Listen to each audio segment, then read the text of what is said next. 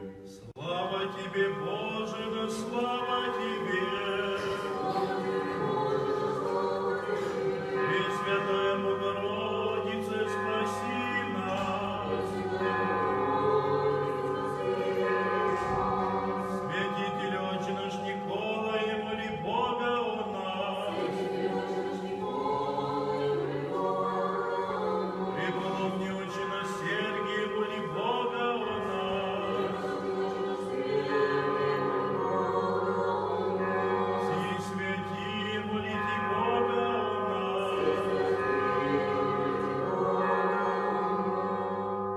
Во имя Отца и Сына и Святого Духа.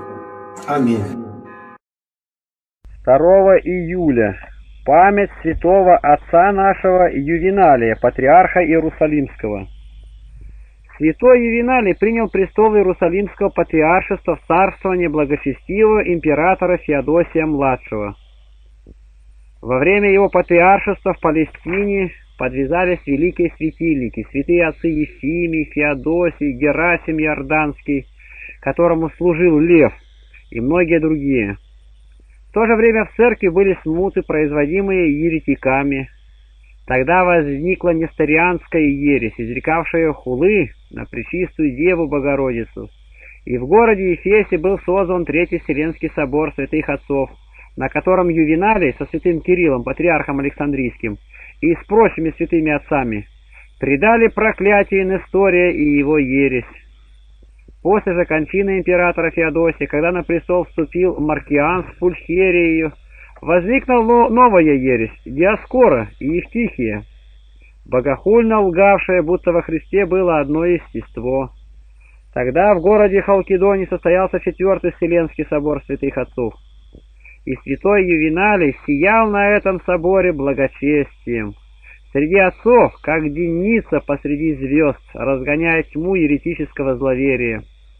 Когда же по окончании собора Ювеналий возвращался на свою патриаршую кафедру в Палестину, в образе инока прибыл некий придерживающийся ифтихианского нечестия еретик по имени Феодосий, человек весьма коварного нрава.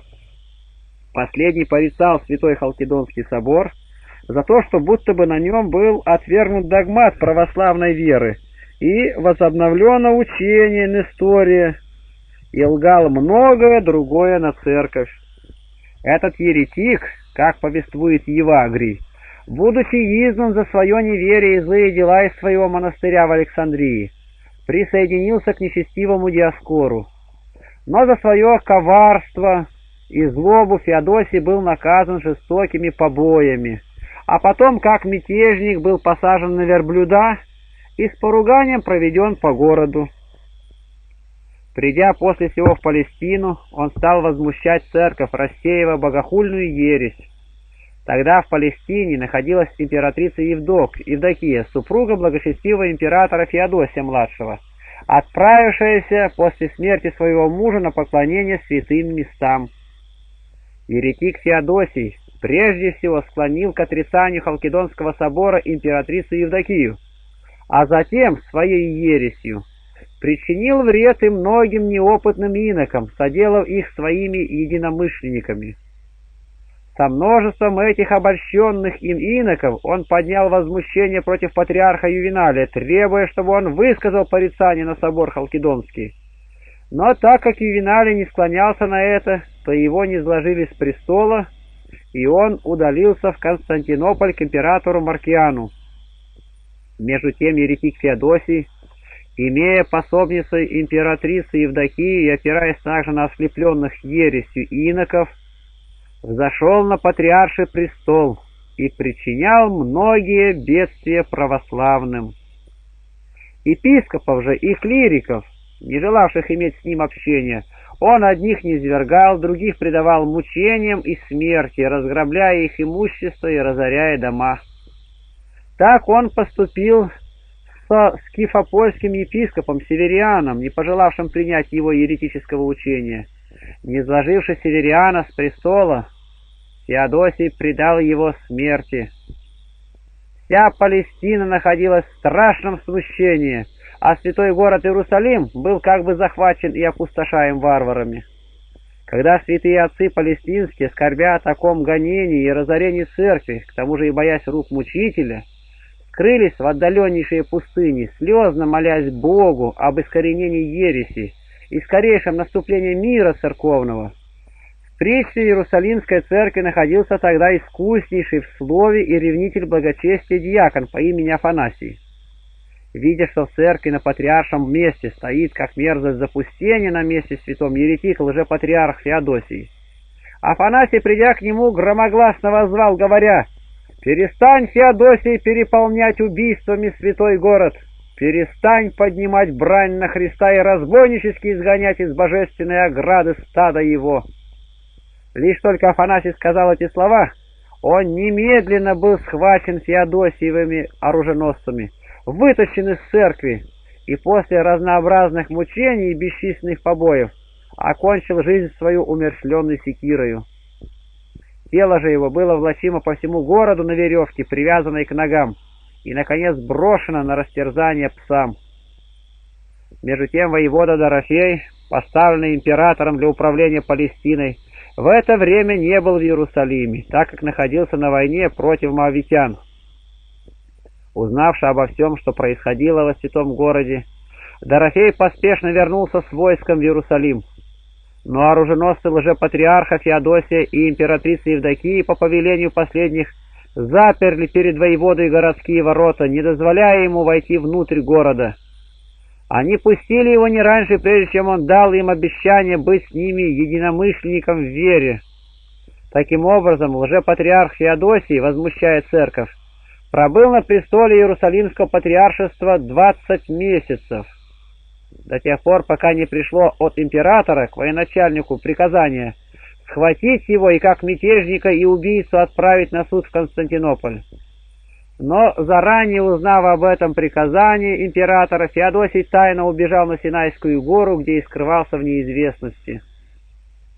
Тогда святейший патриарх Ювеналий, пользовавшийся большим уважением в Константинополе у императора Маркиана, Пульхерии и святейшего патриарха Константинопольского за свою добродетель, с соизволения императора отправился в Иерусалим, снова получил патриарший престол и начал приводить в порядок расстроенные церковные дела. Пустынные отцы, узнавшие о его возвращении, исполнились радости и возвратились каждый в свои обители. Императрица же Евдокия, совращенная в Евтихианскую ересь, упомянутым Феодосием, колебалась умом, не зная, какого исповедания держаться ей.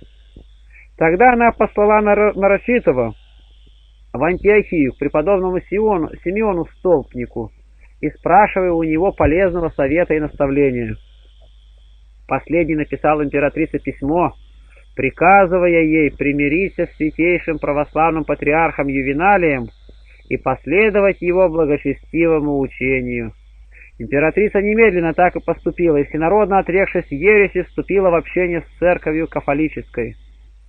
По примеру императрицы обратилась к православию бесчисленное множество народа, мирян и чернорисов, обольщенных ранее еретиком Феодосием. Остальное время своей жизни святой Виналий прожил в мире, украшая святую церковь словом, жизнью и пасторской бдительностью. В прологе записано о нем также следующее. Когда Маркиан с Пульхерией устроили во Влахерне во имя Пречистой Девы Богородицы церковь, то они писали к святому Ювеналию, спрашивая его, знает ли он, где бы было положено тело Богоматери. Патриарх ответил, что не знает, однако напомнил древнее правдивое сказание о том, как было похоронено тело Богоматери, как святые апостолы слышали в продолжении трех дней ангельское пение, и как по прошествии трех дней открыли гроб Богоматери ради одного ученика, не бывшего при погребении. Причем не обрели тело Богоматери, но нашли только гробные пелены. Выслушав это, император и императрица снова написали патриарху, упрашивая его, дабы он прислал к ним, по крайней мере, запечатанную гробницу Богоматери с пеленами, что патриарх и исполнил. Святой Евиналий, потрудившись в сане священном всего 38 лет, с миром почил и предстоит ныне с небесными иерархами перед престолом славы великого архиерея, Господа нашего Иисуса Христа, которому воссылается слава во веки. Аминь. Ювеналий патриаршествовал с 420 по 458 год. Богу нашему слава во веки веков. Аминь. Просим, приходите, подписывайтесь, э, будете регулярно получать с нашего канала.